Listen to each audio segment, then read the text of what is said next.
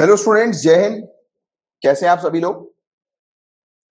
तो क्या आप सभी लोगों को मेरी आवाज़ दिखाई दे रही है और स्क्रीन सुनाई दे रही है? सभी को आवाज़ दिख रही है और स्क्रीन स्क्रीन सुनाई दे रही है? चलो, बहुत बढ़िया। सबको आवाज़ दिखाई दे रही है और स्क्रीन सुनाई दे रही है। चलो गई सेशन को स्टार्ट करेंगे। आज बहुत ही इंपॉर्टेंट सेशन है। क्योंकि काफ़ी कुछ चीज़ें जो है वो इंपॉर्टेंट प्रिलिम्स मेंस दोनों के लिए हैं। आपसे उल्टा ही बोलेंगे। आपसे उल्टा ही बोलेंगे कि जिससे कि तुरंत सबकी आँख खुल जाए कि हाँ सबको स्क्रीन सुनाई देनी चाहिए और आवाज़ दिखाई देनी चाहिए। चलो सियाचिन ग्लेशियर सियाचिन ग्लेशियर के बारे में हम लोग बात करेंगे। सोन चिड़ैया इसके बारे में डिस्कस करेंगे कि ये है क्या राइट और क्यों इंडिया को अफ़गानिस्तान के साथ डील करना चाहिए आज की डेट में? क्योंकि आप जान रहे हैं कि आज की डेट में स्थिति बहुत ज़्यादा खराब है राइट तो इसका आंसर आप लोग मुझे देंगे। इस टॉपिक को मैं पहले भी कई बार कवर करवा चुका हूँ।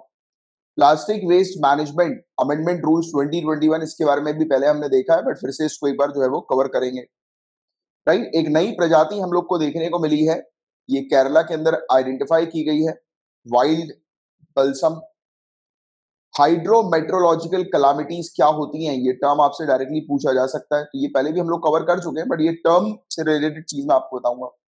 राइस फोर्टिफिकेशन के बारे में हम लोगों ने कल ही बात करी है, कल के लेक्चर में फिर से ये टॉपिक आया। इसमें कुछ इंपॉर्टेंट चीज़ें हैं, वो हम लोग कवर करेंगे। नेशनल हाइड्रोजन मिशन बहुत बार ये टॉपिक लगातार आ रहा है स्पेशली हाइड्रोजन के बारे में लगातार जो है वो चीज़ें देखने को मिल रही है। तो उसको आपको बहुत अच्छे से रखना है specially green hydrogen brown hydrogen ये क्या होता है? इसके बारे में मैं आपको ऑलरेडी पढ़ा चुका हूँ बट कहीं पर नोट डाउन कर लो। इस चीज़ को तो आपको बहुत अच्छे से कवर करते हुए चलना है। कई बार ये टॉपिक न्यूज़ में आ रहा है।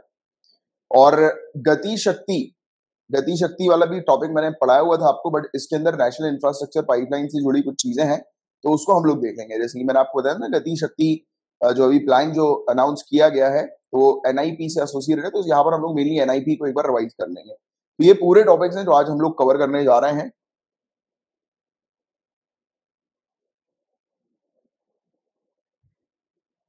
तो स्टार्ट करते हैं। सियाचिन ग्लेशियर से शुरुआत करते हैं हम लोग। तो एक टीम है क्लॉ टीम क्लॉ ये मतलब पीपल विद डिसेबिलिटीज जो दिव्यांगजन, जो पर्सन होते हैं, उनकी एक टीम हम लोग को देखने को मिल रही है। तो ये सियाचिन ग्लेशियर की इन्होंने अपनी जर्नी शुरू करी है।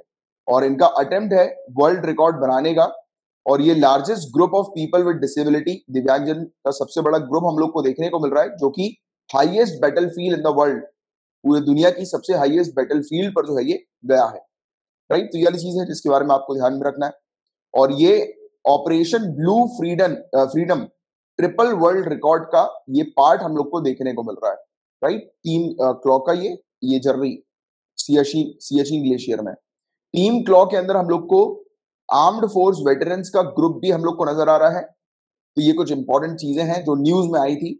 बट अब अब सियाचिन ग्लेशियर के बारे में हम लोग बात करें तो देखिएगा ये कहाँ पर है? तो ये ईस्टर्न काराकोरम रेंज जो हिमालय के अंदर है, वहाँ पर लोकेटेड है।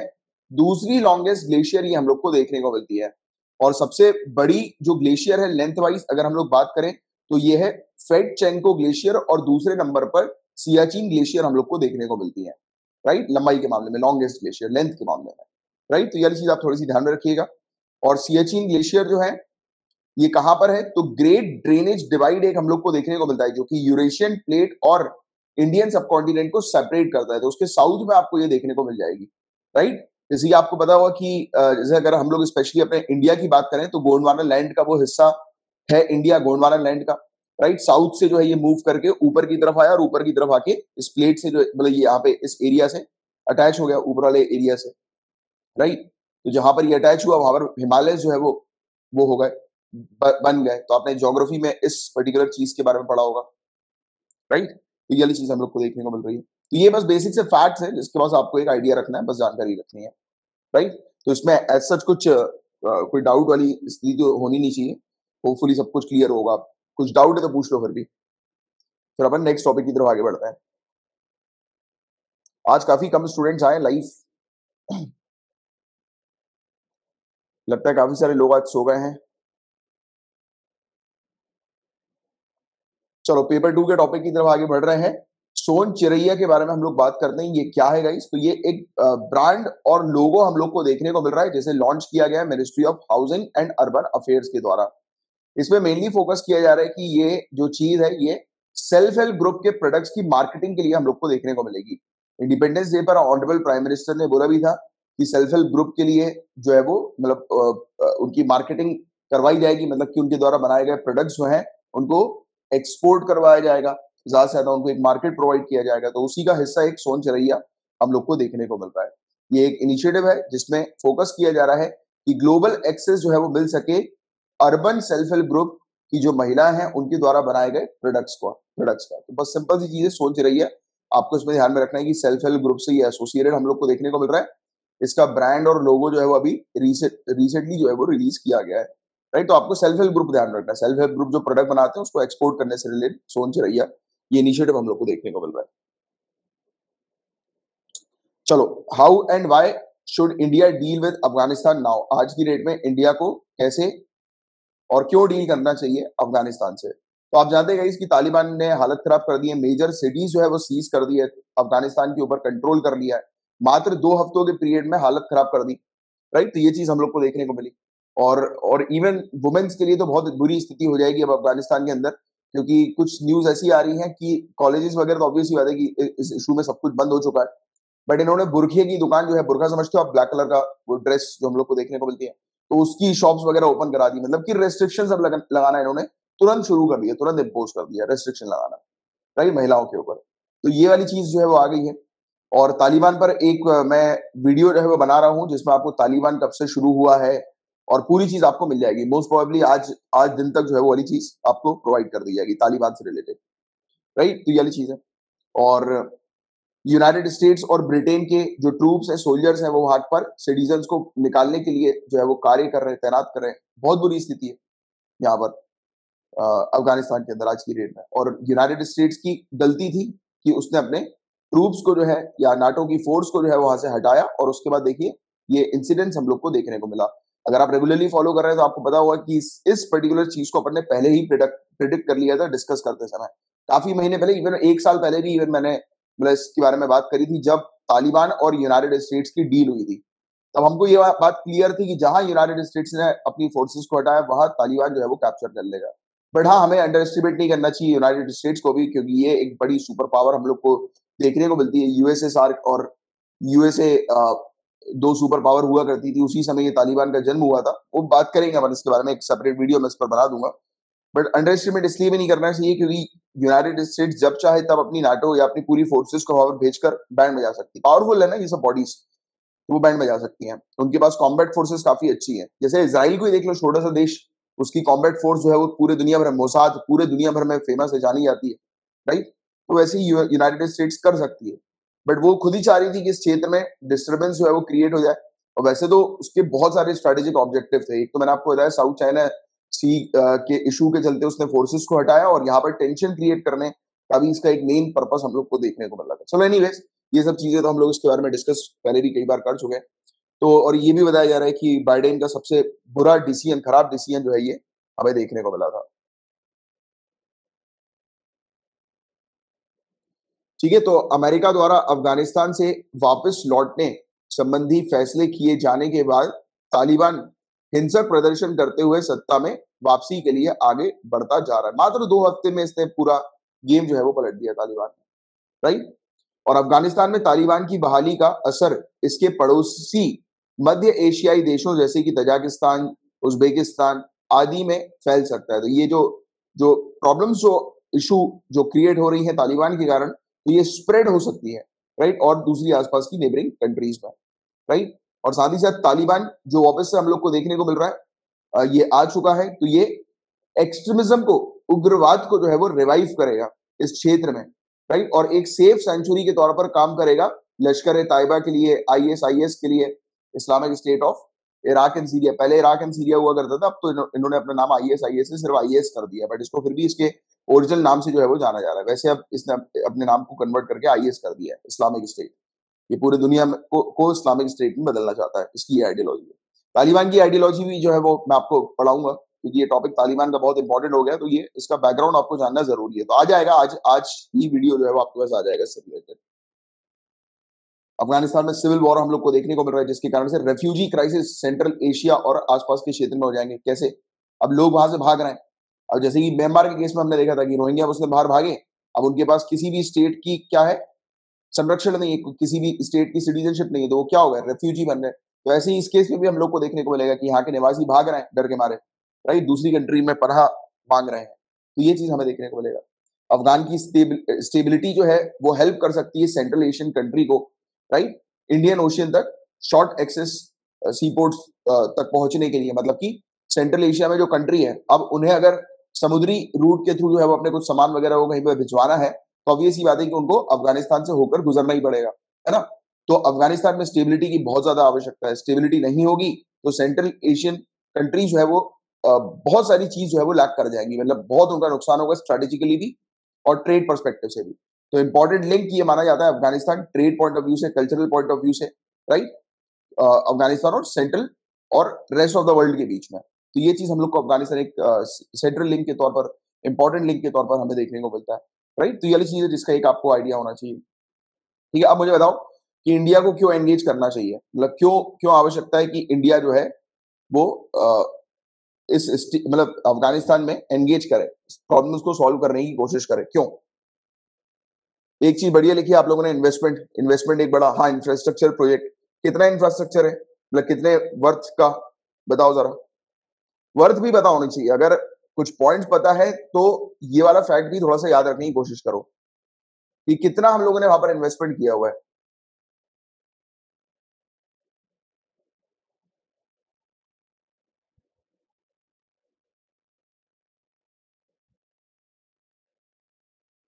ट्रेड ट्रेड तो बहुत इंपॉर्टेंट है कि हम लोग का जो फोकस है आत्मनिर्भर भारत का तो वो भी इससे हिल सकता है। ठीक है? तो बिल्कुल सही कहा आपने। मेन जो है, मैंने आपको इंटरेस्ट के बारे में बताया था। इंटरेस्ट इंटरेस्ट आपको पता होना चाहिए इंटरेस्ट तो इंडिया का मेन इंटरेस्ट है इकोनॉमिक इंटरेस्ट और हाँ ऑब्वियस की बात है स्ट्रेटेजिक इंटरेस्ट तो होगा ही होगा राइट बट मेन जो है कोर जो है वो इकोनॉमिक इंटरेस्ट हम लोग को देखने को मिलता है। हम लोग को आत्मनिर्भर भारत अभियान को जो है वो सक्सेसफुल बनाना था तो इसलिए हम लोगों ने अफ़गानिस्तान के अंदर वेरियस इंफ्रास्ट्रक्चर प्रोजेक्ट स्टैब्लिश किए। बहुत पैसा जो है वहाँ पर खर्च किया। बट प्रॉब्लम क्या आई? यहाँ पर तालिबान के इस इशू के कारण हम लोग को देखने को मिला कि हमारे काफ़ी सारे प्रोजेक्ट जो है वो एक तो स्टॉल हो गए राइट रुक गए हैं राइट और प्रॉब्लम यह है कि कल एक और चीज़ देखनी ये ज़रूरी है कि अगर अगर पाकिस्तान और ये जैसे कि रशिया की बात करें, हम लोग चाइना की बात करें, ये लोग मिलकर अगर तालिबान के साथ डील कर लेते हैं तो ये कभी भी इंडियन इंटरेस्ट को जो है वो स्वीकारेंगे नहीं। इंडियन इंटरेस्ट के खिलाफ ही ये पूरे, पूरा फिर चीज़ चलेगी। तो इसलिए हमें इन्वॉल्व होना बहुत ज़्यादा ज़रूरी है। तो ये सेकंड पॉइंट आपका होना चाहिए। एक तो फ़र्स्ट पॉइंट इंटरेस्ट और किसका इंटरेस्ट कि हमने इकोनॉमिक इंटरेस्ट हम लोगों ने इन्वेस्टमेंट किया है। दूसरा, हमें मतलब इसके तालिबान के साथ डील करना इसलिए भी ज़रूरी है। अगर नहीं करी तो पाकिस्तान, चाइना, रशिया, ये तीन कंट्री आप ध्यान में रखिएगा। ये एंगेज करेंगे तालिबान के साथ और जब ये एंगेज करेंगे, तब हमें देखने को मिलेगा कि हमारे इंटरेस्ट के खिलाफ ही चीज़ हम लोग को नज़र आएगी। क्योंकि ये लोग कभी नहीं चाहेंगे क्योंकि हम लोग इनके कॉम्पिटिशन है राइट तो ये चीज़ हम लोग को देखने को मिल रही है कि तालिबान जो है वो पाकिस्तान के साथ एंगेज करेगा तो वो इंडिया के लिए ठीक नहीं होगा। इंडिया के बेस्ट इंटरेस्ट के लिए ठीक नहीं होगा। और अगर इंडिया एंगेज नहीं करती है तो रशिया ईरान पाकिस्तान चाइना तो ये कंट्री स्पेशली इसमें आपको रशिया पाकिस्तान चाइना को ध्यान में रखना है। तो ये अफ़गानिस्तान के पॉलिटिकल और जियो पॉलिटिकल डेस्टिनी को शेप करेंगे मतलब कि बनाएँगे। और जब ये बनाएँगे तो इंडिया के इंटरेस्ट के विरुद्ध ये पूरी चीज़ हम लोग को देखने को मिलेगी। इवन यूनाइटेड स्टेट्स भी बहुत तेज चल रहा है क्वाड क्वाड खेल रहा है हर जगह। यहाँ पर भी कॉर्ड खेला इसने, चाइना को काउंटर करने के लिए, वहाँ पे भी कॉर्ड खेल रहा है। इसने बोल दिया कि ये उज्बेकिस्तान, अफ़गानिस्तान, पाकिस्तान और यूनाइटेड स्टेट्स के साथ जो है वो कॉर्ड बनाएगा एक रीजनल कनेक्टिविटी जो है वो क्रिएट करेगा। तो ये वाला कॉर्ड भी आप लोग को थोड़ा सा पता होना चाहिए। इसके बारे में पहले भी मैं आप लोग को बता चुका हूँ, हालाँकि एक बहुत अच्छे से इस चीज़ को ध्यान में रखेगा टेररिस्ट अटैक का भी इंडिया को खतरा है, बिल्कुल सही आप लोगों ने कहा। कनेक्टिविटी का तो है ही, क्योंकि ऑब्वियसली बात है कि अफ़गानिस्तान के थ्रू ही हम लोग जो है वो वहाँ तक पहुँचते थे सेंट्रल एशिया तक पहुँचते थे। तो ये एक बड़े इशू हम लोग को देखने को मिल रहा है राइट तो अर्जेंट नीड है, आज की डेट में पहली चीज़ तो ये करना चाहिए वहाँ के जो लोग हैं, जो तालिबान के कारण पीड़ित हम लोग को नज़र आ रहे थे पहले तो उनकी सेफ्टी को ध्यान में रखना है first point second point Afghanistan जो है उसको, उसके मुद्दे को जो है वो शंघाई कॉपरेशन ऑर्गेनाइजेशन जैसे जो रीजनल ऑर्गेनाइजेशन है तो इसमें डिस्कस करना ज़रूरी है और जल्दी से जल्दी इसको रिजोल्व करना ज़रूरी है राइट सब कलेक्टिवली कंट्रीज़ के साथ मिलकर United States Iran China Russia को एक्टिवली इंडिया को इन्वॉल्व करना चाहिए अफ़गानिस्तान में स्टेबिलिटी लाने के लिए मेंटेन करने के लिए राइट सभी को साथ में मिलकर काम करना चाहिए रेफ्यूजी क्राइसिस को रिजोल्व करने के लिए क्योंकि रेफ्यूजी क्राइसिस डेफिनेटली बनेंगे ही बनेंगे और बनना शुरू हो गए और इंडिया जो है वो एंगेज करे तालिबान के साथ जैसे कि इस क्षेत्र में जो है वो पीस जो है वो मेंटेन रहा। है तो ये कुछ चीज़ें हैं जिसके बारे में आप लोग को पता होना चाहिए। ठीक है, अब पूछिए किसी प्रकार का कुछ डाउट आप लोगों को तो पूछ सकते हैं। वैसे तो ये टॉपिक लगातार रिपीट हो रहा है, कई बार अपन कवर कर चुके हैं। इस टॉपिक को इतना डेप्थ में और इतना प्रॉपर तरीके से क्लियर किया है अपन ने कि आपके मेंस के लिए तो पूरा ये टॉपिक रेडी है और इस प्रकार के टॉपिक डेफिनेटली आते ही आते हैं and you should be ready इस तरह के टॉपिक को टैकल करने के लिए। और मैंने कल एक gold medal congressional gold medal का एक टॉपिक जो है वो बनाया था। होपफुली आप सभी लोगों ने उस टॉपिक को कवर कर लिया होगा। काफ़ी इंपॉर्टेंट टॉपिक है, वो भी एक राइट उसका आइडिया होना चाहिए। प्रीलिम्स में भी डायरेक्टली पूछा जा सकता है। अब देखिए plastic waste management amendment rules 2021 की हम लोग बात करेंगे। तो इसके बारे में पहले भी हम लोग चर्चा कर चुके हैं। सिंगल यूज़ प्लास्टिक जो है आइटम जो है, उसको प्रोहिबिट किया जा रहा है बैन किया जा रहा है। एनवायरमेंट मिनिस्ट्री ने नोटिफाई कर दिया plastic waste management amendment rules 2021 को राइट लो यूटिलिटी मतलब जिसका कोई मतलब ज़्यादा जिसका काम होता नहीं है उतना, और ये एनवायरमेंट को पल्यूट करता है, और बहुत वेस्ट जो है वो एनवायरमेंट में हाई लिटरिंग पोटेंशियल इसका हम लोग को देखने को मिलता है। तो ऐसे आइटम्स को 2022 से प्रोहिबिट जो है वो कर दिया जाएगा। राइट तो ये चीज़ यहाँ पर बताई जा रही है। फ़र्स्ट जुलाई 2022 से सिंगल यूज़ प्लास्टिक को पूरी तरह से बैन कर दिया जाएगा। इसकी मैन्युफैक्चरिंग को, इसके इम्पोर्ट को, इसको स्टॉकिंग को राइट डिस्ट्रीब्यूशन को सेल्स को यूज़ को सिंगल यूज़ प्लास्टिक के बैन कर दिया जाएगा प्रोहिबिट कर दिया जाएगा। ये बैन जो है वो कंपोस्टेबल प्लास्टिक जैसी कम्युनिटीज में अप्लाई नहीं होगा। कंपोस्टेबल प्लास्टिक मतलब की जो डिग्रेडेबल होती है राइट यानी कि जो एनवायरमेंट फ्रेंडली थोड़ी सी हम लोग को देखने को मिलती है घुल मिल जाती है राइट जैसे सॉइल पे आप डालोगे तो फिर वो घुल मिल जाएगी, उतना वेस्ट क्रिएट नहीं करेगी तो उस टाइप का। और दूसरे प्लास्टिक कम्युनिटीज को फ्यूचर में जो है वो बैन कर दिया जाएगा।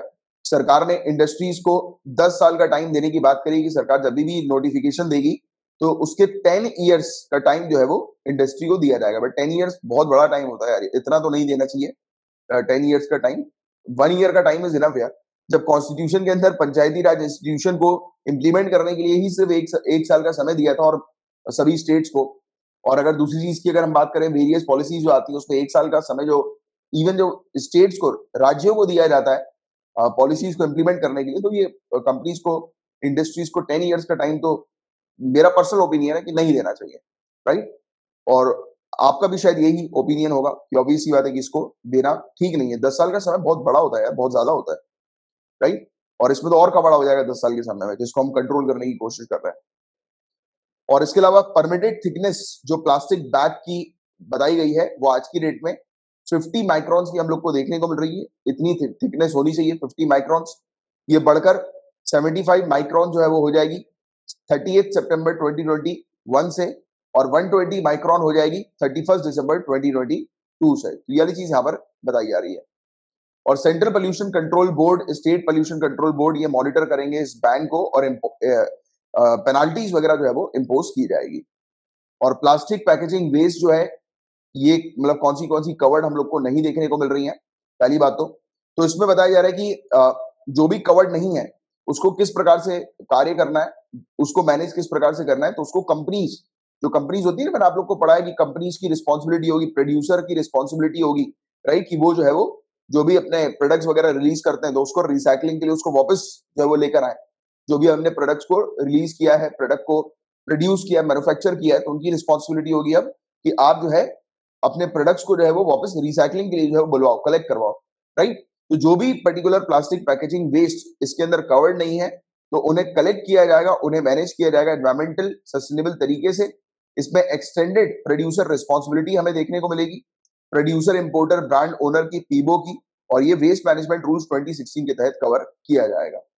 आज की रेट के सिनेरियो की बात करें इस और आने वाले समय के प्रपोजल की बात करें तो रूल्स जो आज की रेट के हम लोग को देखने को मिल रहा है, इसमें थिकनेस लेस देन 50 माइक्रॉन्स को प्रोहिबिट किया यानी कि 50 माइक्रॉन से कम के प्लास्टिक अब बैन हो गए, ये वाला पॉइंट टू बी नोटेड ये चीज़ आप ध्यान में रखिएगा और टोटली इसको फ़र्स्ट जुलाई से 2022 से जो है वो कंप्लीटली बैन कर दिया जाएगा। ये 50 माइक्रोन आपको याद रखना ज़रूरी है, आजकल ये लोग जो है वो सिविल सर्विसेज़ वाले, ये थोड़ा सा टेक्निकल वाली चीज़ जो है वो कई बार पूछ ले रहा है। और आपको अपनी नॉलेज के लिए भी वाला फैक्ट पता होना चाहिए, पचास माइक्रोन याद रख लो कि पचास माइक्रोन से कम की जो वो है प्लास्टिक वो अब मतलब यूज़ नहीं की जाएगी। 2022 फ़र्स्ट जुलाई 2022 से इसको कंप्लीटली बैन कर दिया जाएगा। काफ़ी सारी स्टेट्स के अंदर तो वैसे भी बैन कर दिया गया है राइट और मैन्युफैक्चरिंग जो है, वो जुलाई नेक्स्ट ईयर से इसकी बंद हो जाएगी बैन हो जाएगी।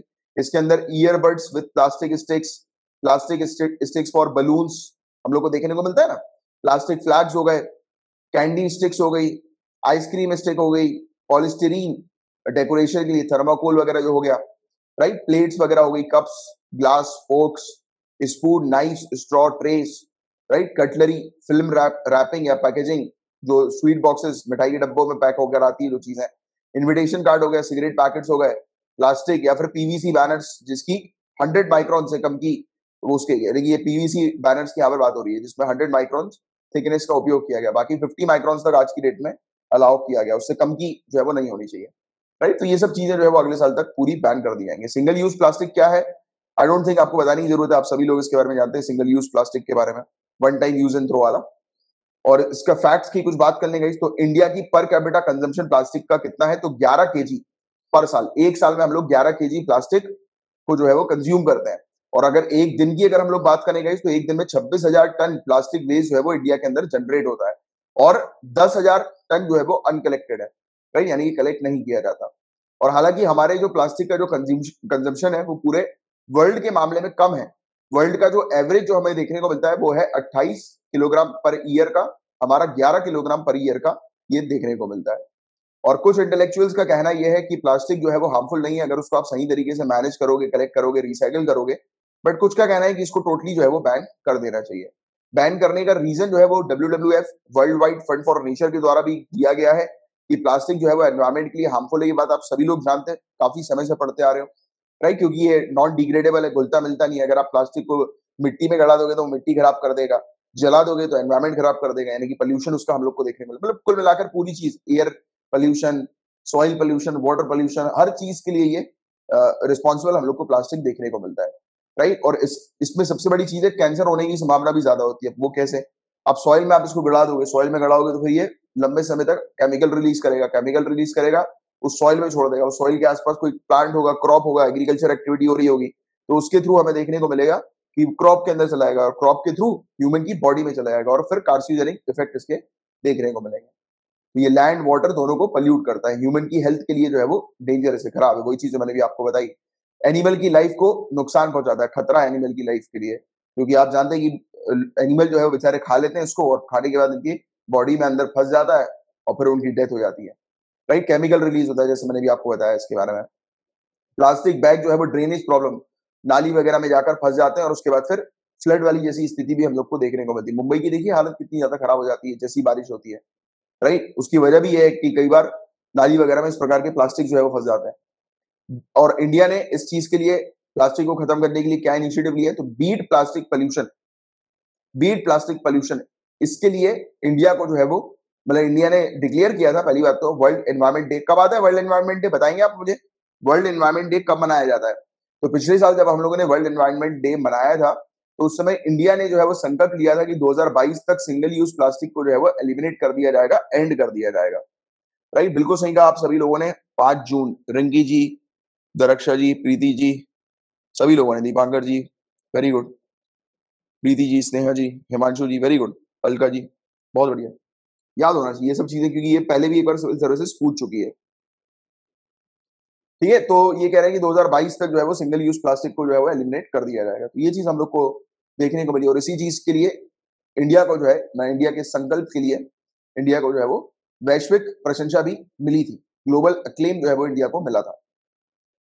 और चौथा यूनाइटेड नेशन एनवायरमेंट असेंबली 2019 में हमें देखने को मिली, जिसमें इंडिया ने एक रेजोल्यूशन सामने रखा पोल्यूशन को एड्रेस करने के लिए, जो कि सिंगल यूज़ प्लास्टिक प्रोडक्ट्स का हम लोग को देखने को मिलता है।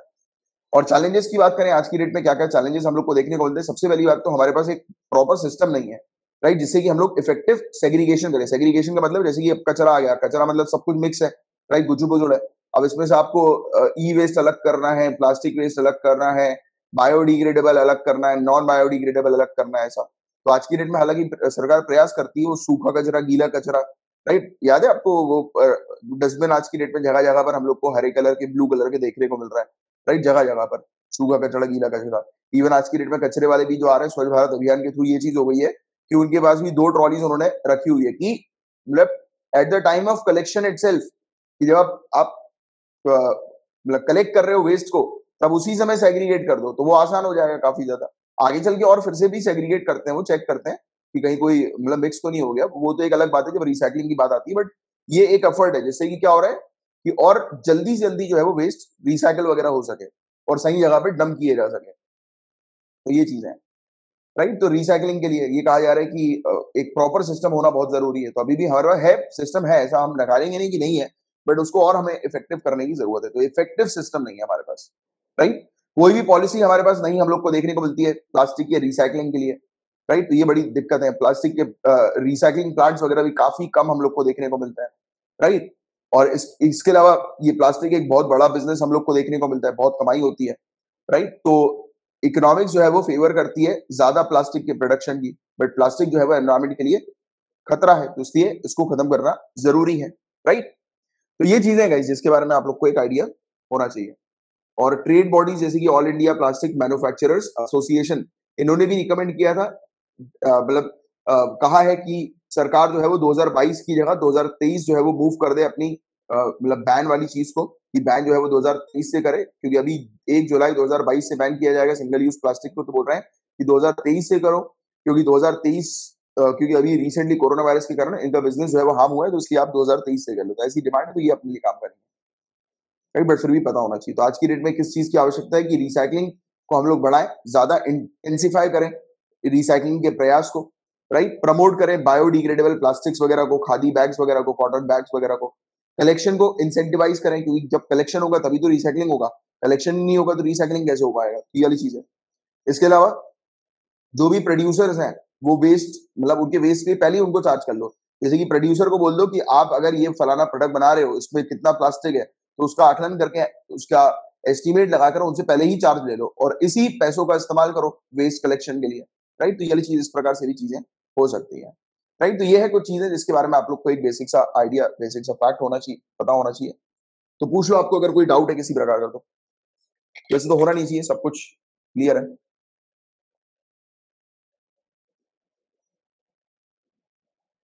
लेस देन फाइव माइक्रॉन नहीं है माइक्रॉन नहीं है लेस देन फिफ्टी माइक्रॉन है।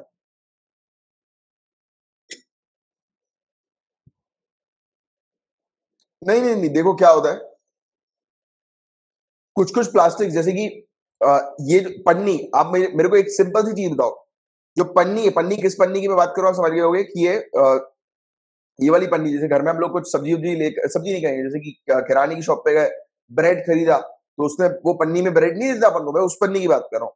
अब आप देखिए वो वाली जो पॉलिथीन बैग्स हैं ठीक है अब वो अगर एनवायरमेंट में अगर कहीं पे जाएँगे यानी कि एनवायरमेंट में अगर छूट जाते हैं वो तो आप उसको एक टाइम के बाद कलेक्ट नहीं कर पाओगे क्योंकि वो इस प्रकार से फट जाएगा और इतने छोटे छोटे टुकड़ों में हो जाएगा कि वो थोड़ा थोड़ा करके, जिसको क्या बोलते हैं, मैंने एक टर्म भी इसके बारे में आप लोग को बताया था, कि वो वाली चीज़ जो है ना, वो एनवायरमेंट की और ज़्यादा डैमेजिंग हो जाएगी। बट वहीं अगर आप देखो कि जैसे कि प्लास्टिक की और क्या बात करें, जैसे कि आपका फ़ोन है फ़ोन का बैक कवर भी प्लास्टिक का होगा, ठीक है, उसको बैन करने की अभी बात नहीं करिए, क्योंकि उसको एक तो ये आप मतलब एक तो बड़ा होता है, पहली बात तो ठीक है, एक मोटा होता है, और मोटा होता है तो वो वेरियस जगह पर फंसेगा नहीं और उसको आप आसानी से कलेक्ट कर लोगे। तो अभी हमारी पहले प्रायोरिटी है ऐसी चीज़ों के लिए कि जिसको हम लोग जो है वो तुरंत वो करें। कलेक्ट ना कर पाए उसको बैन कर दो और जिसको कलेक्ट कर सके एटलीस्ट उसको मैनेज करें रिसाइकिल करने पर फोकस करें। तो ये एक वजह जिसमें पाँच माइक्रोन फिफ्टी माइक्रोन इस पर जो है वो काम किया जा रहा है। इसके, इससे कम के प्लास्टिक जो है वो बैन किया जा रहा है। देखिए ना आप वो पन्नी जो होती है ना, उसको बैन किया गया। आप रिलेट कर रहे हो चीज़ों को आज की डेट में पन्नी जो है वो नहीं मिल पा रही बोल रहे हैं कि पन्नी का यूज़ मत करो। क्यों उस चीज़ को पहले टारगेट किया गया? क्योंकि वो फंस जाती है नाली वगैरह में जाकर फंस जाती है राइट और फिर वो निकलती नहीं है क्योंकि वो इस प्रकार की हो जाती है। और उसको आसानी से वो खा लेंगे। एनिमल उस, उस चीज़ को आसानी से खा लेंगे। एनिमल को दे दो फ़ोन का कवर वो नहीं खा पाएगा उसको नहीं खा पाएगा वो चबा चबा नहीं पाएगा। पन्नी आसानी से अंदर निकल लेगा वो। बात समझ रहे हो?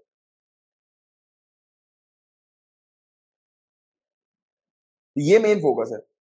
तो कभी भी चीज़ों को समझना है तो थियोरिटिकल से ज़्यादा प्रैक्टिकली उस चीज़ को ऑब्ज़र्व करने की कोशिश करो। जहाँ उस चीज़ को ऑब्ज़र्व किया, वहाँ आपको क्लियर हो जाएगी चीज़ें। हाँ बहुत सारी जगह पर यार, आजकल तो काफ़ी सारी जगह पर दे रहे हैं इन्होंने शुरू कर दिया है। ठीक है? आगे बढ़े।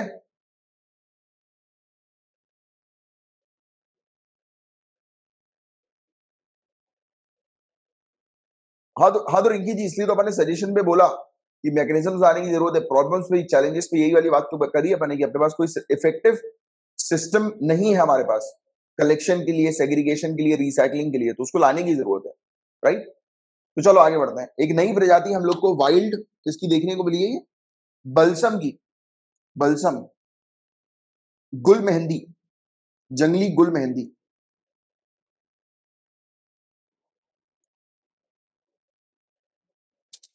हाँ जी रंगी जी बताइए।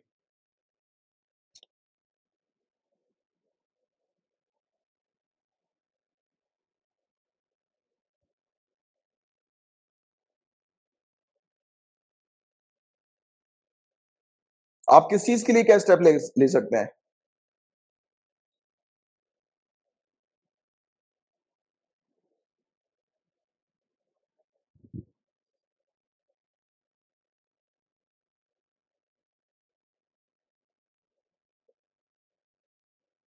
रिंकी जी इसके बारे में अपन बाद में बात करेंगे ठीक है? इस चीज़ के बारे में क्योंकि मैंने आप लोग आपको ऑलरेडी पूरे सजेशन जो है वो दे दिए हैं कि, कि क्या क्या चीज़ों का आप यूज़ कर सकते हो तो इसके बारे में बाद में डिस्कस करते हैं ठीक है? तो तीन नई स्पीसीज हम लोग को वाइल्ड बल्सम की देखने को मिल रही है जो कि केरला के अंदर आइडेंटिफाई की गई है। जंगली गुल मेहंदी की तीन नई प्रजातियाँ की खोज हम लोग को केरला के अंदर देखने को मिली है तो केरला आपको ध्यान में रखना है गुल मेहंदी और वाइल्ड बल्सम ये चीज़ आपको थोड़ी सी ध्यान में रखनी है राइट तो ये जो प्रजाति हम लोग को स्पीसीज हम लोग को देखने को मिल रही है, ये किस फैमिली से बिलोंग करती है? तो जीनस इम्पेटियंस जीनस इम्पेटियंस अगर मैंने सही प्रोनाउंस नहीं किया तो किया तो वेरी गुड तो ये लिखा हुआ है, ठीक है? M P A T I E N S ठीक है? तो ये ये फैमिली बल बल सेमिन एके की हम लोग को देखने को मिल रही है राइट तो ये प्लांट्स इस जीनस का हम लोग को देखने को मिल रहा है, वो ज़्यादातर पॉपुलर कहाँ पर है? काशी, थुम्बा, मलयालम में हम लोग को देखने को मिलता है राइट इस नाम से। ये जीनस जो है वो जाना जाता है काशी तुम्बा राइट और इसके अलावा वेस्टर्न घाट्स में ये देखने को मिला है और केरला के साउथ में और कुडुकी डिस्ट्रिक्ट में ही हम लोग को देखने को मिला है राइट और तीन प्रजातियाँ में से दो का नामकरण कम्युनिस्ट दिग्गज और पूर्व मुख्यमंत्री वी एस अच्युतानंद और पूर्व स्वास्थ्य मंत्री के के शैलजा के नाम पर किया गया है। तो ये वाली चीज़ है। तो आपको तो बस ये चीज़ ध्यान में रखनी है कि ये प्रजाति वाइल्ड बल्सम की तीन प्रजातियाँ, जंगली गुल मेहंदी, केरला में हम लोग को देखने को मिली है। तो ये पॉइंट आप थोड़ा सा ध्यान में रखिए बस। अब देखो, ये एक इंपॉर्टेंट टॉपिक है। आपको अभी अपन ने डिस्कस किया था। आपको याद आ रहा होगा, हमने लैंडस्लाइड के बारे में डिस्कस किया है अभी कुछ समय पहले, क्योंकि लैंडस्लाइड के बारे में बहुत बार न्यूज़ में आ चुका है। और साथ ही साथ हमने किसके बारे में डिस्कस किया था? फ्लैश फ्लड के बारे में डिस्कस किया था। याद आ रहा है आप लोगों को? ये सब चीज़ें। तो ये जो फ्लैश फ्लड हो गया क्लाउड बर्स्ट हो गया लैंडस्लाइड हो गई। इसको मिलाकर, इस प्रकार के जो हज़ार होते हैं ना, इसको आप मिला दो ये पूरी चीज़ों को। तो इस चीज़ को हम लोग हाइड्रोमेट्रोलॉजिकल कलामिटीज कहते हैं। आपसे उठाकर ये लोग यहाँ से क्वेश्चन पूछ लेंगे कि हाइड्रोमेट्रोलॉजिकल कलामिटी बताइए क्या होता है। तो आप ये तीनों चीज़ें बस ध्यान में रखिएगा, ठीक है? और यूनियन होम मिनिस्ट्री ने एक डेटा जारी किया है कि हाइड्रोमेट्रोलॉजिकल कलामिटीज के कारण क्या फर्टालिटीज मृत्यु मतलब किस प्रकार की हमें देखने को मिली, कितने आंकड़े देखने को मिले। तो nearly six thousand eight hundred लोगों की जान चली गई है राइट पिछले तीन सालों में ड्यू टू हाइड्रोमेट्रोलॉजिकल कलामिटीज और वेस्ट बंगाल में सबसे ज़्यादा डेथ रिकॉर्ड की गई है पॉइंट टू बी नोटेड ठीक है? अब ये डेथ का कॉज मेन कॉज हम लोग को ज़्यादातर क्या देखने को मिल रहा है? एक तो extreme rainfall event flash flood right cloud burst या फिर तो ये मेन कारण हम लोग को देखने को मिल रहा है राइट और ऐसे टाइप्स हम लोग को फटाल लैंडस्लिप इवेंट्स के भी देखने को मिले हैं, जो कि कॉमन है। लैंडस्लाइड देखिए आप कितनी ज़्यादा हम लोग को देखने को मिली है। राइट मेनली हिमालयन स्टेट में वेस्टर्न घाट्स में कोंकण एरियाज़ में राइट और फंड जो है वो सरकार के द्वारा स्पेशली सेंटर की बात करें तो सेंटर के द्वारा रिलीज़ किया गया है स्टेट डिजास्टर रिस्पॉन्स फंड के तौर पर, जो कि हाईएस्ट फंड एलोकेट किया गया महाराष्ट्र को। तो सबसे ज़्यादा पैसा जो है मतलब डिजास्टर रिलीफ के मामले में, वो महाराष्ट्र को जो है वो दिया गया है। पिछले तीन सालों में वेस्ट बंगाल के अंदर चार ट्रॉपिकल साइक्लोन देखने को मिल चुके हैं। इन साइक्लोन का आप ऑर्डर थोड़ा सा ध्यान में रखना। फानी 2019 मई में आया था, उसके बाद फिर बुलबुल आया, फिर अम्फान आया, फिर यास आया। कभी कभी ये लोग आपसे क्रोनोलॉजिकल ऑर्डर में भी पूछ सकते हैं तो आप इसके लिए भी रेडी रहे। क्योंकि पिछले दो सालों में बहुत ज़्यादा, दो साल स्पेशली 2018 से भी अगर देखें तो बहुत ज़्यादा साइक्लोन्स की इंटेंसिटी जो है वो यहाँ पर बढ़ गई है राइट और उसका कारण क्लाइमेट चेंज ही हम लोग को देखने को मिल रहा है मेन और स्टेट का रोल्स और रिस्पॉन्सिबिलिटी क्या हमें देखने को मिलती है तो डिजास्टर मैनेजमेंट एक्ट कौन सी ईयर का है, बताओ जरा डिजास्टर मैनेजमेंट एक्ट किस ईयर का है? लिख दो फटाक से। Disaster management act 2005 very good 2005 ये हम लोग को देखने को मिलता है। इसमें स्टेट्स को पावर दी गई है कि स्टेट जो है वो एक्शंस लें किस चीज़ के लिए? To prevent death due to natural calamity death को प्रिवेंट करने के लिए स्टेट्स जो है वो एक्शन लें। तो डिजास्टर मैनेजमेंट एक्ट 2005 का जो हमें देखने को मिलता है, इसने डिफाइन किया है कि डिजास्टर मैनेजमेंट एक प्रकार की प्रोसेस है। प्लानिंग ऑर्गेनाइजिंग ऑर्गेनाइजिंग कोऑर्डिनेटिंग और इंप्लीमेंटिंग मेजर्स की। कि तौर तरीके जो है वो लाए जाए प्लान किया जाए ऑर्गेनाइज किया जाए कोऑर्डिनेट किया जाए राइट इंप्लीमेंट किया जाए राइट कि जिससे कि क्या चीज़ हो सके, हम लोग खतरे को जो है वो प्रिवेंट कर सकें रिस्क को जो है वो रिड्यूस कर सकें किसी प्रकार के डिजास्टर की। रेडीनेस मतलब रेडी रहें, तत्पर हम लोग रहें राइट प्रॉम्प्टनेस भी हम लोग को मतलब एक ही बात हम लोग को देखने को मिलती है, कि तैयार रहें, तत्पर रहें किसी प्रकार से डिजास्टर को वो करने के लिए, लड़ने के लिए डिजास्टर से। और इसके अलावा सीवियरिटी मतलब डिजास्टर जो है, कोई भी है, उसका इफ़ेक्ट जो है वो कितना सीवियर होगा तो उसका आकलन करना भी इसी particular plan organise organise management के अंदर हमें देखने को मिलता है। रेस्क्यू और रिलीफ जो लोग फंस गए हैं, उनको निकालो, उनको राहत प्रोवाइड कराओ। रिहेबिलिटेशन वही सेम चीज़ की लोगों को जैसे पता लग गया कि हाँ यहाँ पर डिजास्टर आने की संभावना है तो लोगों को तुरंत रिहेबिलिटेट करो, दूसरी जगह पर ले जाओ। रिकंस्ट्रक्शन जो भी डैमेज हो गया है तो उसको रिकंस्ट्रक्ट करो। तो ये सब चीज़ें इसके अंदर हमें देखने को मिलती है। और कौन से कौन से ऑर्गेनाइजेशन है जो कि डिजास्टर मैनेजमेंट फ्रेमवर्क से रिलेटेड हम लोग को नेशनल लेवल पर देखने को मिलते हैं। NDMA national disaster management authority of India NDMP national disaster management plan state disaster management authority और डिस्ट्रिक्ट डिजास्टर मैनेजमेंट अथॉरिटी तो ये सब चीज़ें हमें देखने को मिलती है। इसमें देखिए आप सेंडाई फ्रेमवर्क याद रखिएगा। सेंडाई फ्रेमवर्क क्वेश्चन आएगा। सेंडाई फ्रेमवर्क फ्रेमवर्क किससे रिलेटेड है? तो आपको ध्यान में रखना है डिजास्टर मैनेजमेंट से रिलेटेड सेंडाई फ्रेमवर्क है। तो डिजास्टर सेंडाई फ्रेमवर्क से रिलेटेड याद रखिएगा। ये ऐसे question choose the correct pair या मैच द फॉलोइंग में ये लोग पूछते हैं।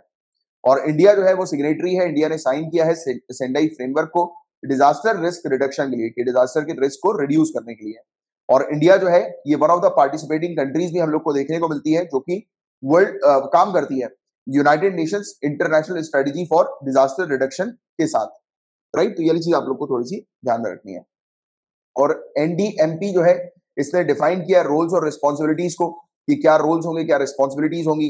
राइट वेरियस स्टेक होल्डर्स के, जिसके अंदर सेंट्रल मिनिस्ट्रीज या सेंट्रल डिपार्टमेंट्स या state governments UTs administration district authority और लोकल सेल्फ गवर्नमेंट होंगे। मतलब कि बताया हुआ है कि इसके अंदर की जब जब भी डिजास्टर होता है तो किन किन मतलब डिपार्टमेंट्स के अथॉरिटीज के क्या क्या रोल जो है वो होने वाले हैं। तो राइट तो यही चीज़ हम लोग को देखने को मिलती है। और एनडीएमएस की अगर हम लोग बात करें तो ये सेटअप की गई थी।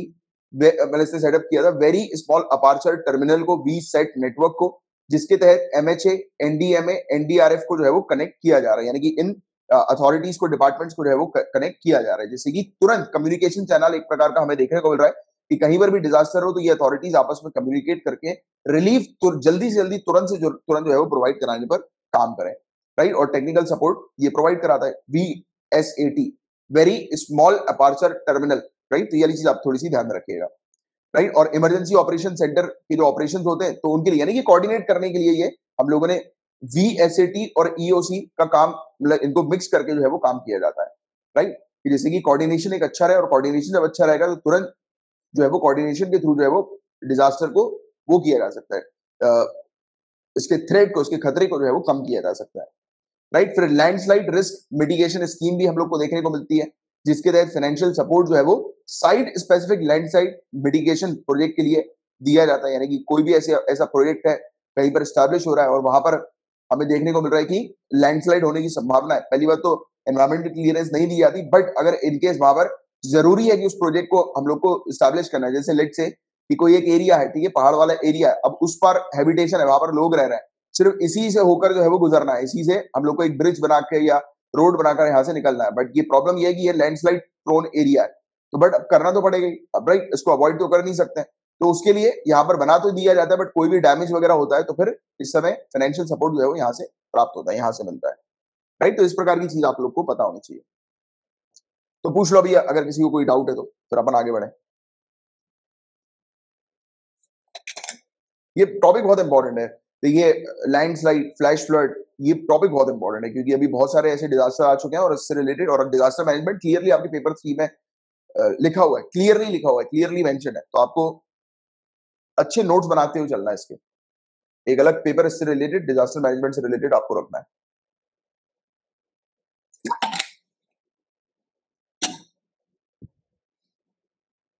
न जाने कितनी बार, तमाम बार हम लोग इस टॉपिक को कवर कर चुके हैं। नेशनल हाइड्रोजन मिशन बहुत ज़्यादा इंपॉर्टेंट टॉपिक है, बहुत बार आ चुका है। और हाइड्रोजन के बारे में तो मैंने आपको कहा कि पूरी चीज़ हाइड्रोजन से रिलेटेड आपको पता होनी चाहिए। चलो बताओ एक एक करके। बताओ। हम हाइड्रोजन की बात करते हैं इस मिशन को छोड़ दो। हाइड्रोजन की बात करें। मिशन के बारे में आप जानते हो कि हम लोग को ज़्यादा से ज़्यादा हाइड्रोजन का प्रोडक्शन करना है एक्सपोर्ट करना है, जिस, जिसको हम लोग फ्यूल के तौर पर यूज़ कर सकें। बट आप हाइड्रोजन के बारे में बताओ हाइड्रोजन की प्रॉपर्टीज़ के बारे में। लाइट वेट वेरी गुड ये लाइट वेट है। और minus two fifty five point eight degree का बॉइलिंग पॉइंट है। वेरी गुड इस फिगर को चेक करेंगे। लाइट वेट है। पहला एलिमेंट हम लोग को पीरियोडिक टेबल में देखने को मिलता है। वेरी गुड सभी लोग बहुत शानदार लिख रहे हैं। बहुत बढ़िया most reactive easily accessible abundant on earth बहुत ज़्यादा मात्रा में अर्थ में देखने को मिलता है। बहुत ही बढ़िया। लाइट है हाँ बहुत ही बढ़िया। और मेन काम की चीज़ तो नहीं लिख रहे हो। क्यों यूज़ किया जा रहा है हाइड्रोजन को? वो काम की चीज़ तो लिख दो।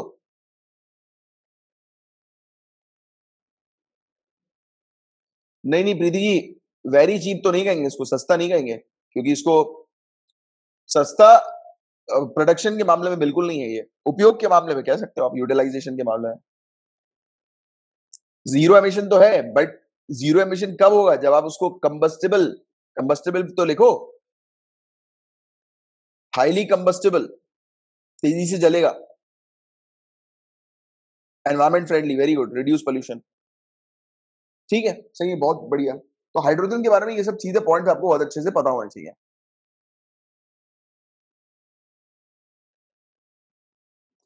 ठीक है? तो लॉन्च हो गया ये नेशनल हाइड्रोजन मिशन और मेन एम ये है कि इंडिया को ग्लोबल हब बनाना है प्रोडक्शन और एक्सपोर्ट के लिए green hydrogen specially national hydrogen mission जो है वो टारगेट करता है ग्रीन हाइड्रोजन को कि ग्रीन हाइड्रोजन के प्रोडक्शन और एक्सपोर्ट के लिए इसे ग्लोबल हब जो है वो बनाना है। राइट इसका प्रपोजल ऑलरेडी दिया गया था बजट 2021 के दौरान। तो हाइड्रोजन फ्यूल की बात करें तो हाइड्रोजन लाइटेस्ट और पहला एलिमेंट हम लोग को पीरियोडिक टेबल में देखने को मिलता है। इसका वेट जो है वो हवा के वेट से भी कम हम लोग को नज़र आता है और रेयरली बहुत ही रेयरली हम लोग को देखने को मिलता है कि ये प्योर फॉर्म में मिले। एच अपने प्योर फॉर्म में बहुत ही रेयरली मिलता है ये। राइट और हाइड्रोजन जो है वो नॉन टॉक्सिक है। राइट? जहरीला नहीं है नॉन मेटालिक है ओडरलेस है, राइट? स्मेललेस वही चीज़ जो अभी आपने मेंशन करी टेस्टलेस है कलरलेस हम लोग को देखने को मिलता है। Highly combustible diatomic gas भी हम लोग को देखने को मिलती है। Highly combustible right? तेज़ी से आग पकड़ने वाली, जलने वाली। और हाइड्रोजन फ्यूल जो है वो ज़ीरो एमिशन का हम लोग को फ्यूल देखने को मिलता है। अगर इसको ऑक्सीजन के साथ जलाया जाए तो। फ्यूल सेल में या फिर इंटरनल कंबशन इंजन में इसका उपयोग किया जा सकता है। Right even spacecraft propulsion में भी एज अ फ्यूल के तौर पर इसका उपयोग किया जाता है। तो ये इसकी प्रॉपर्टी स्पेस क्राफ्ट वाली भी आप याद रखिएगा मेन्स में लिखने के लिए। राइट और हाइड्रोजन के अकरेंस की बात करें, देखो एक तो पूरे यूनिवर्स में बहुत भारी मात्रा में ये पाया जाता है, मिलता है। कहा जाता है कि सन और दूसरे स्टार जो है वो मेनली हाइड्रोजन से ही बने हैं। राइट और एस्ट्रोनॉमर्स ने एस्टिमेट किया है कि 90 परसेंट एटम्स जो पूरे के पूरे यूनिवर्स में हम लोग को देखने को मिलते हैं, वो हाइड्रोजन एटम के तौर पर ही हम लोग को नज़र आते हैं। और पानी के साथ जो है वो भारी मात्रा में ये पाया जाता है एच टू ओ आप सभी लोग जानते हैं एच टू ओ पानी के साथ ही ज़्यादा मात्रा में ये अटैच रहता है। और मॉलिकुलर हाइड्रोजन यानी कि ये सिंगल हाइड्रोजन हम लोग को धरती पर नहीं देखने को मिलता राइट और ज़्यादातर हाइड्रोजन जो है वो किसके साथ अटैच्ड है? तो एच टू ओ ऑक्सीजन के साथ अटैच है। तो अटैच है पूछते हैं तो किसके साथ है? तो ऑक्सीजन वाटर नहीं बोलेंगे आप, क्योंकि वाटर के साथ थोड़ा ना अटैच्ड है। एच टू ओ ही वाटर हम लोग को देखने को मिलता है, यही पानी हम लोग को देखने को मिलता है। ये छोटी छोटी सी चीज़ें होती हैं जिसमें अगर ध्यान नहीं दिया तो निपट गए फिर। तो अगर पूछ लिया जाए किसके साथ ये अटैच्ड है बॉन्डेड है तो ऑक्सीजन के साथ तो उसके लिए आप एच टू ओ ध्यान में रखिएगा। एच टू प्लस ओ पढ़ा नहीं वाली बात? और यही वाटर होता है। तो लोग गलती कर जाते हैं, किसके साथ हाइड्रोजन अटैच है? पानी के साथ अटैच है भाई साहब। पानी के साथ थोड़ा ना अटैच है। ये ऑक्सीजन के साथ अटैच है, पानी में। और वही पानी बन जाता है है ना? और ये हम लोग को कार्बन जो होता है ना लाइव बॉडीज या फिर डेड बॉडीज तो उसमें भी देखने को मिलता है तो उसमें भी आपको हाइड्रोजन मिल जाएगा, या फिर फॉसिलाइज बायोमास में भी हाइड्रोजन जो है वो देखने को मिल जाएगा राइट तो ये चीज़ है, और उसको बनाया कैसे जाएगा? तो H2O अगर वाटर है तो आप वाटर को स्प्लिट कर दो, अलग कर दो तो हाइड्रोजन और ऑक्सीजन अलग हो जाएँगे, है ना? तो इस प्रकार से इसको बनाया जा सकता है। स्टोरेज की बात करें तो हाइड्रोजन को आप गैस के तौर पर या लिक्विड के तौर पर स्टोर कर सकते हो। गैस के तौर पर अगर आपको उसको स्टोर करना है तो उसके लिए हाई प्रेशर टैंक की आवश्यकता होगी। स्टोरेज के तौर पर अगर आपको स्टोर करना है मतलब लिक्विड में राइट तो उसके लिए क्रायोजेनिक टेम्परेचर की आवश्यकता होगी इसका बॉइलिंग पॉइंट हाइड्रोजन का क्या है? माइनस टू फिफ्टी फाइव नहीं minus two fifty two point eight degree Celsius तो ये चीज़ भी आप थोड़ी सी ध्यान में रखिएगा। कभी कभी स्टेट सिविल सर्विसेज़ वाले डायरेक्टली पूछ लेंगे या फिर यूपीएससी भी पूछ सकता है। तो ये बॉइलिंग पॉइंट उसका ज़रूर याद रखिएगा। हाइड्रोजन सरफेस पर भी स्टोर किया जा सकता है। इसमें दो टर्म्स आप ध्यान में रखो एड्सॉर्ब एड्सॉर्प्शन और एड्सॉर्प्शन एब्जॉर्प्शन तो देखो एड्सॉर्प्शन क्या होता है? ये डब्बा है, इसके बाहर इसके बाहर मैंने ऐसे करके चिपका दिया। आपने फोम देखा है? फोम जिससे गाड़ी वगैरह कई बार साफ़ करते हैं फोम पिचकता है वो। येलो कलर का अक्सर रहता है अलग अलग कलर रहते हैं, उसके बाद ज़्यादातर येलो कलर का वो फोम दिखाई देता है, पिचक जाता है, उसमें पानी भरा जाता है। कभी देखना, उसमें छोटे छोटे से ड्रॉपलेट्स ऊपर बाहर दिखाई देंगे इस प्रकार से। तो ये ये वाली जो चीज़ होती है, वो एड्सॉर्प्शन की हमें देखने को मिलती है। इसी कहते हैं एड्सॉर्प्शन ऐसी वाली चीज़ को। और वहीं अगर उसके अंदर चला जाएगा फोम के अंदर चला जाएगा तो वो क्या होगा? एब्जॉर्प्शन हम लोग को देखने को मिलेगा। पत्ती के ऊपर कभी देखा हुआ है? ओस लगी रहती है। हम लोग को देखने को मिलता है। पानी की ड्रॉपलेट्स बूंदे देखने को मिलती है। तो उसको आप बोल दो एड्सॉर्प्शन एड्सॉर्प्शन और और फोम के अंदर पानी चला गया, पत्ती के अंदर पानी चला गया, बताऊँगा तो फिर समझ नहीं पाओगे तो फोम के अंदर पानी चला गया तो वो क्या होगा एब्जॉर्प्शन एब्जॉर्प्शन तो सभी लोग समझते हैं, ये एब्जॉर्प्शन टर्म को थोड़ा ध्यान में रखना है, ये भी इंपॉर्टेंट है, ये भी पूछ सकते हैं आपसे। राइट क्लीन हाइड्रोजन का क्या पोटेंशियल हम लोग को देखने को मिलता है? ये ओनली बाय प्रोडक्ट हम लोग को देखने को मिलता है इसका वाटर मतलब कि आप इसको यूज़ करोगे तो सिर्फ़ और सिर्फ़ पानी ही निकलेगा और कुछ नहीं। राइट ऑक्सीजन के साथ। राइट और हंड्रेड परसेंट ये क्लीन जो है वो बना देता है। और ऑल्टरनेटिव फ्यूल के तौर पर इसको यूज़ किया जा सकता है। राइट पावर फ्यूल सेल के ज़ीरो एमिशन इलेक्ट्रिक व्हीकल्स की इसकी एबिलिटी हम लोग को देखने को मिलती है राइट फ्यूल सेल को पावर करने की। और फ्यूल सेल जो है, अगर इसको इलेक्ट्रिक मोटर के साथ आप लगा दोगे तो ये दो से तीन गुना ज़्यादा एफिशिएंट होगा। जो मतलब अगर कंपेयर करें गैसोलीन के साथ तो गैसोलीन से चलने वाले जो इंटरनल कंबशन इंजन जो हम लोग को देखने को मिलते हैं, उसके कंपैरिजन में इस फ्यूल सेल को, यानी कि हाइड्रोजन वाले फ्यूल सेल को अगर आप इलेक्ट्रिक मोटर के साथ लगा दोगे तो वो ज़्यादा बेटर ज़्यादा एफिशिएंट हम लोग को देखने को मिलेगा। कितना एफिशिएंट देखने को मिलेगा तो उसके लिए ये वाली चीज़ याद रख लेना कि जैसे कि अगर आप एक किलोग्राम हाइड्रोजन गैस का उपयोग कर रहे हो और वहीं आप 2.8 किलोग्राम गैसोलीन का उपयोग कर रहे हो तो एक किलोग्राम हाइड्रोजन जो है वो ज़्यादा एफिशिएंट होगा। क्योंकि यहाँ पर सिर्फ़ एक किलोग्राम लग रहा है। जैसे आपकी गाड़ी जो है वो पाँच किलोमीटर चलती है लेट से किसमें? Two point eight kilogram gasoline में, ठीक है? पाँच किलोमीटर चलती है। तो एक किलोग्राम हाइड्रोजन में आपकी गाड़ी पाँच किलोमीटर चलेगी मतलब कि ज़्यादा एफिशिएंट ये हाइड्रोजन हम लोग को देखने को मिल रही है। बात समझ रहे हो?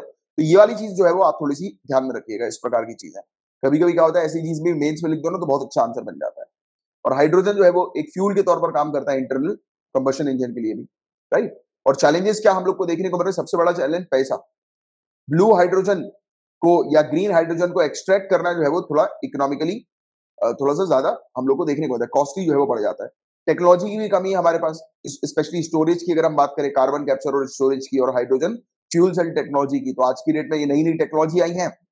इन्फेंट है नेसेंट है और एक्सपेंसिव हम लोग को ये देखने को मिल रही है तो ये बड़ी चीज़ है। और फिर लेकर आ गए इसको तो फिर इसका मेंटेनेंस कॉस्ट भी जो है वो ज़्यादा हम लोग को देखने को मिलेगा। और देखिए, अगर इंडस्ट्रीज़ में इसको अगर सेटअप करवाना है हाइड्रोजन को एज अ फ्यूल के तौर पर तो उसके लिए बड़ा इन्वेस्टमेंट लगेगा स्पेशली रिसर्च एंड डेवलपमेंट में भी इंफ्रास्ट्रक्चर वगैरह में भी। राइट तो फिर वो इंडस्ट्रियलिस्ट जो है वो ये सब चीज़ें नहीं करते एडिशनल इसको नहीं करते हैं। राइट तो ये वाली चीज़ हम लोग को देखने को मिल रही है। तो पूछ लीजिए अगर आपको कुछ पूछना है तो। बाकी ये वाला टॉपिक तो रिपीटेड था, अपन ने कवर किया हुआ है बट एक चीज़ आप लिख लो, आपके लिए आज का होमवर्क है। आपको मैंने वो पढ़ाया था हाइड्रोजन के बारे में blue hydrogen brown hydrogen right green hydrogen तो इसके, इसका एक डिफरेंस जो आपने होपफुली लिखा होगा तो आप उसको एक बार रिवाइज कर लेना। आज के आज ही आप उसको रिवाइज कर लेना।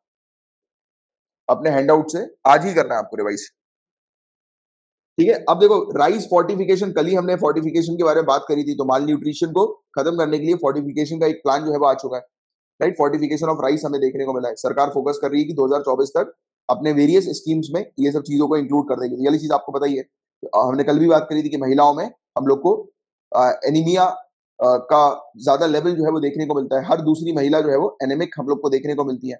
राइट हर तीसरा बच्चा जो है वो स्टंट हम लोग को देखने को मिल रहा है। याद है ना, हमने कल ही बात करी थी इसके बारे में ग्लोबल हंगर इंडेक्स के अंदर सीरियस हंगर की कैटेगरी में जो है वो इसको रखा गया है। तो हम फिर से क्यों रिपीट करना है इसके अंदर? तो एक और आर्टिकल आया जिसमें कुछ चीज़ें जो है वो मेंशन है। जैसे सरकार जो है वो डिस्ट्रीब्यूट करती है 300 लाख टन राइस को वेरियस स्कीम्स में हर साल और नेशनल फ़ूड सिक्योरिटी एक्ट के तहत आता है। और वैसे भी आप लोग जानते हैं कि फ़ूड सिक्योरिटी जो है वो हाईएस्ट सबसे बड़ी सब्सिडी जो है वो सरकार की हमें देखने को मिलती है फ़ूड सिक्योरिटी सबसे बड़ी सब्सिडी सबसे ज़्यादा मात्रा में जो जो भी चीज़ सरकार सब्सिडी प्रोवाइड कराती है, वो फ़ूड के केस में हम लोग को देखने को मिलता है। राइट और फ़ूड फोर्टिफिकेशन क्या है? तो ये चीज़ आप लोग कुछ पता ही है कि एडिशनल हम लोग को उसमें न्यूट्रिएंट्स ऐड कर दिया जाता है फ़ूड में, वो फ़ूड फोर्टिफिकेशन होता है। राइट अब इसमें देखिए, अभी आज की डेट में ये फ़ूड फोर्टिफिकेशन ज़्यादा चल रहा है तो मैं चाहूँगा कि आप ये चीज़ थोड़ा सा ध्यान में रखें कि अगर एक चावल है, एक किलो चावल फोर्टिफाइड राइस है तो उसमें क्या क्या चीज़ होगा? तो उसमें आयरन होगा, वैसे जनरली कार्बोहाइड्रेट के अलावा और कुछ नहीं होता है ऐसा कहा जाता है। बट अगर आप फोर्टिफाइड यानी कि फोर्टिफिकेशन करोगे और प्रोवाइड कराओगे जनता को तो क्या क्या चीज़ें इसमें मिलने वाली तो iron folic acid vitamin B twelve तो ये चीज़ आप थोड़ी सी ध्यान में रखिएगा। और माइक्रो न्यूट्रिएंट्स के तौर पर, जैसे कि जिंक हो गया विटामिन ए हो गया विटामिन बी वन हो गया विटामिन बी टू हो गया विटामिन बी थ्री हो गया और विटामिन बी सिक्स हो गया। तो ये सब चीज़ें हमें देखने को मिलेगी। तो इसलिए मैंने ये वाला टॉपिक जो है वो ये लेकर आ गया था, क्योंकि कुछ इंपॉर्टेंट पॉइंट इसके अंदर थे। तो आप सिर्फ़ इतनी चीज़ बस याद रखो, बाकी पूरी चीज़ तो आपको कवर ऑलरेडी हो ही चुकी है।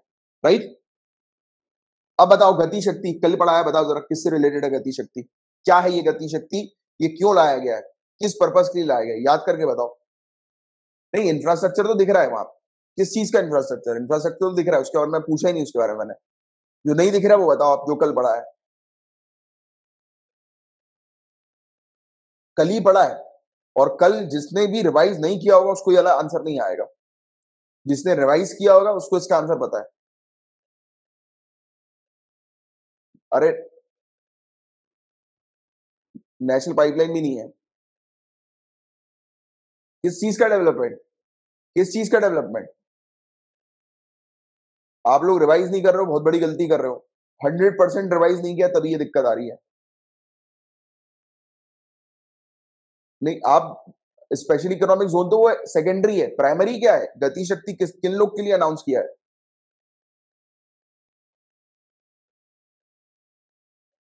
अरे यार, ऐसा काम मत करो यार। रिवीजन करो यार रेगुलर बेसिस पर। रिवीजन करो रेगुलर बेसिस पर। याद आ रहा है मैंने आप लोग को क्या बताया था? कि help local manufacturers so that they can compete worldwide ये प्राइमरी चीज़ है। मेन फोकस है लोकल मैन्युफैक्चरर्स के ऊपर। नेशनल ये वाली इसकी बात तो मैंने आपको इंफ्रास्ट्रक्चर पाइपलाइन के बारे में तो मैंने आपको ऑलरेडी बता दिया था कि नेशनल इंफ्रास्ट्रक्चर पाइपलाइन जो है वो वो तो इसी से जुड़ता हुआ है। वो 111 लाख करोड़ रुपए का प्रोजेक्ट था। उस, उसके लिए मैं भी आपको बताऊँगा। कल हमने नेशनल इंफ्रास्ट्रक्चर पाइपलाइन के बारे में बताया नहीं था मैंने आपको डिटेल में बट पहले पढ़ा चुका हूँ इस टॉपिक को बट फिर से अभी रिवाइज करवाऊँगा। बट ऐसा मत करो यार आप लोग को रिवाइज करना बहुत ज़्यादा ज़रूरी है। यहाँ पर ये किसके लिए लाया गया है? हेल्प करने के लिए लोकल मैन्युफैक्चरर्स को। कि लोकल मैन्युफैक्चरर्स जो है वो पूरे मतलब वर्ल्ड वाइड कंपीट कर सकें। तो ये इसका प्राइमरी गोल हम लोग को गति शक्ति का देखने को मिल रहा है। तो ये चीज़ याद रखो यार। और नेशनल इंफ्रास्ट्रक्चर मास्टर प्लान ये हम लोग को हमारी कंट्री के लिए देखने को मिल रहा है। इसके बारे में ऑलरेडी हमने बात कर ली, नई इंप्लॉयमेंट अपॉर्चुनिटी है जनरेट करेगा लाखों युवाओं के लिए। तो आपको यहाँ पर ये चीज़ मुझे आपको पढ़ानी थी, इसलिए वाला टॉपिक लेकर आया था बट अच्छा वो लेकर आ गया। ध्यान से सुना करो, और ये ये गड़बड़ क्यों हो रही है? याद क्यों नहीं आ रहा है? उसकी वजह सिर्फ़ एक ही है कि आपने रिवाइज नहीं किया। है ईमानदारी से बताओ कि किसने कल रिवाइज किया था। ईमानदारी से बताओ।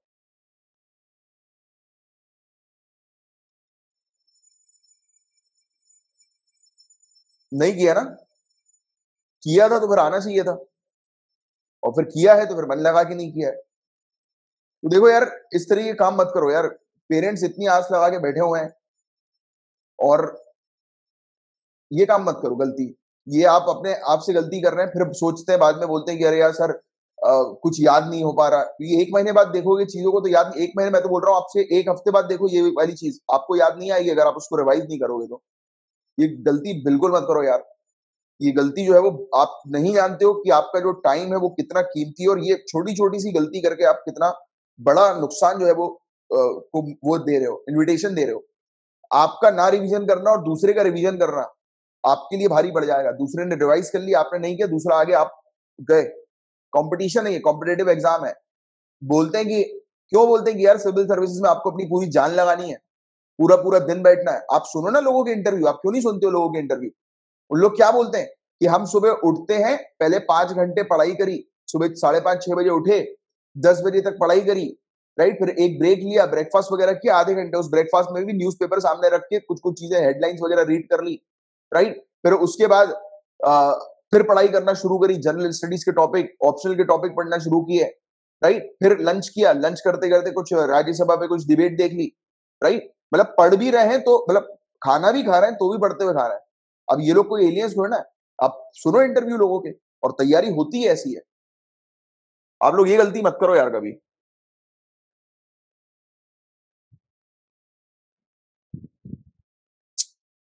चलो एनीवेज क्या करें आप?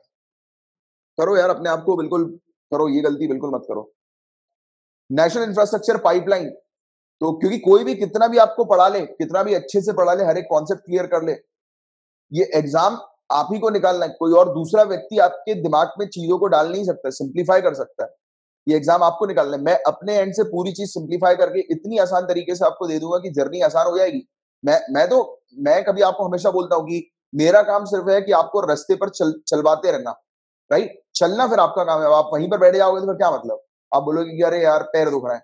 पैर दुख रहा है तो चलना पड़ेगा। पैर में मारो डंडा, दुख रहा है तो।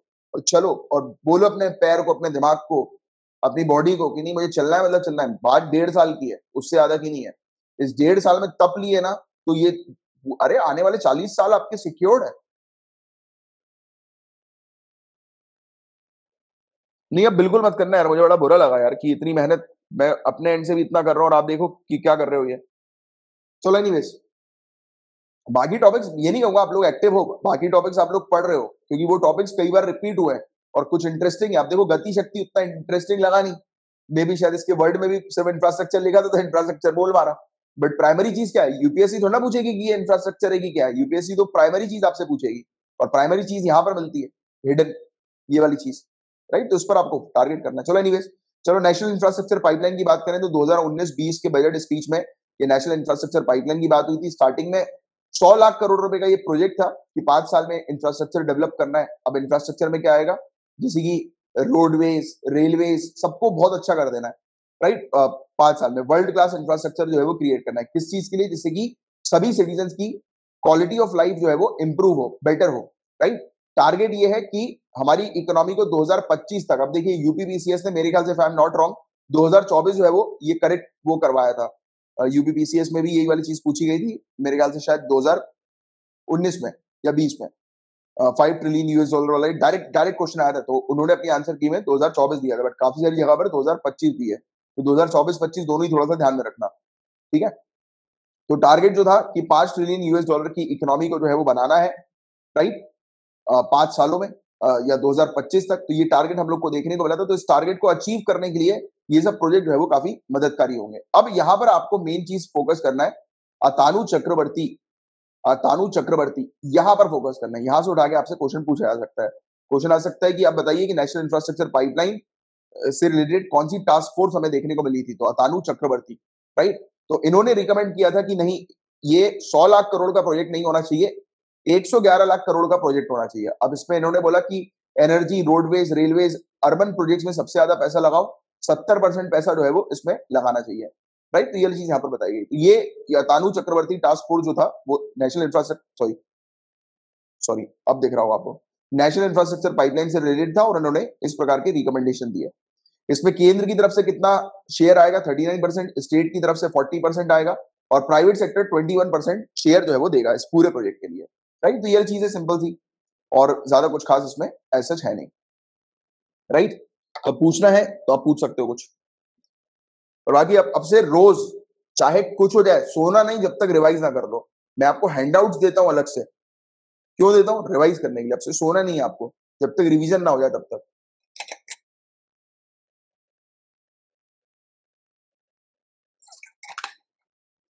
और मेरे साथ एक बड़ी दिक्कत है यार, मैं चुप नहीं रह पाता। मुझे, जैसे कि होता है ना, कुछ लोग जो है बोलते नहीं कुछ लोग का है कि आए, पढ़ाई जल्दी है। मेरे साथ नहीं है। मेरे साथ अगर मुझे लगा कि यार गलती कर रहे हो तो फिर मैं डांटूँगा भी। और जिसको नहीं रहना है, वो जा सकता है। कोई दिक्कत नहीं। ये दरवाज़ा जो है, वो ओपन है। जिसको पढ़ना है, जिसको नहीं पढ़ना है, वो जा सकता है। और पढ़ोगे तो भाई यार, मैं तो कई बार चटक जाता हूँ। मैं थोड़ी सी चटकी पिक्चर हूँ। मुझे जब लगता है कि यार स्टूडेंट सही नहीं चल रहे तो मुझे फिर गुस्सा आने लगती है कि मैंने कहा कि ये तो गलत बात है।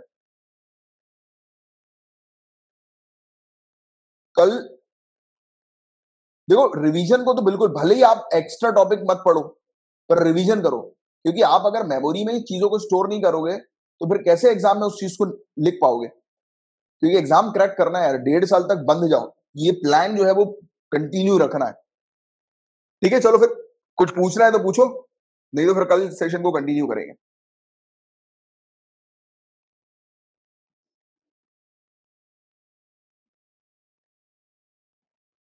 चलो कोई बात नहीं, मुझे पता है यार आप लोग के अंदर पोटेंशियल है, काफ़ी सारे लोग आप आप लोग हो कि जिनके अंदर बहुत ह्यूज पोटेंशियल है इस एग्ज़ाम को निकालने का और ये मैं बहुत अच्छे से जानता हूँ।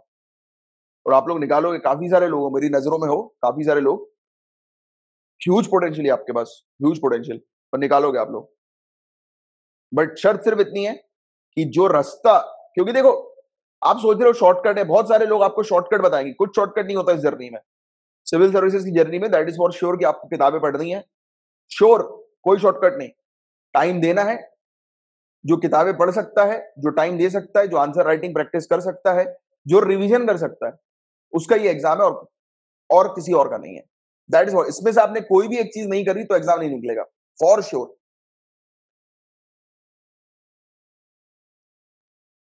यदि ऑप्शन में 2024-25 हो तो राइट क्या होगा? तो भगवान का नाम लेके अब दोनों में से कोई एक लगा दो, अब राइट तो वही आयोग बताएगा कि क्या होगा। क्योंकि मुझे ऐसा लगता है कि यूपीटीसीएस ने शायद 2024 दिया था और उन्होंने भी ये पूरे ऑप्शन दिए थे और ये भी एक वो कॉन्ट्रोवर्शियल चल गया था। क्योंकि खुद पीआईबी में एक डेटा जो था वो खुद खुद कुछ और लिखा था और दूसरी मिनिस्ट्री की वेबसाइट में एक डेटा जो था वो कुछ और लिखा हुआ था।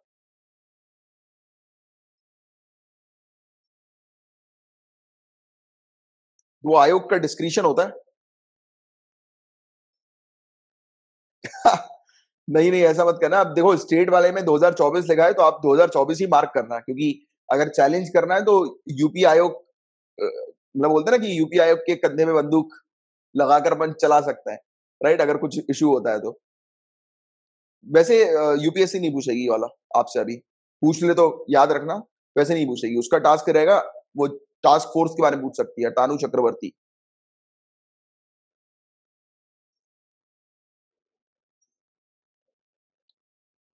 अलका जी पैरेलल पे चलाओ पैरेलल पे चलाओ, जो चीज़ छूट गई है उसको पैरेलल पे चलाओ। या फिर आपका जब मतलब जैसे कि होता है ना कभी कभी टॉपिक जल्दी खत्म हो गए, तब उस समय चलाओ चलो ठीक है, फिर आप मिलते हैं अपन। कल के लेक्चर में, तब तक लिए bye take care have a great day ahead जय हिंद।